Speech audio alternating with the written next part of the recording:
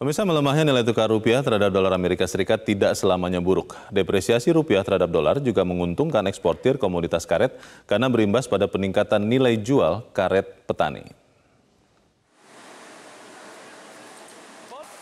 Kalangan dunia usaha berorientasi ekspor meraup berkah di tengah pelemahan rupiah seperti para pengusaha komoditi karet.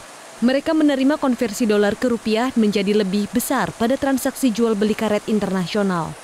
Hal ini membantu pengusaha eksportir karet di tengah penurunan harga karet di pasar internasional. Saat ini harga karet berada di level 1,3 dolar Amerika Serikat per kilogram, menurun dibandingkan periode yang sama tahun lalu, 1,6 dolar Amerika Serikat per kilogram. Oleh karenanya pengusaha masih mampu mendongkrak nilai beli karet basah di tingkat petani yang mengalami kenaikan mulai dari 100 hingga 200 rupiah per kilogram. Sejujurnya bagi kami eksportir dengan melemahnya nilai rupiah itu menguntungkan bagi kami di satu sisi bahwa kami uh, mendapatkan rupiah yang lebih banyak dengan uh, dolar yang sudah tertentu. Tetapi pada saat yang sama sayang sekali itu tidak diimbangi dengan harga karet yang memadai.